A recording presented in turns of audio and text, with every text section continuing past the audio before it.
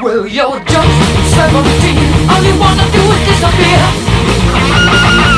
Know what I mean? There's a lot of space between our ears.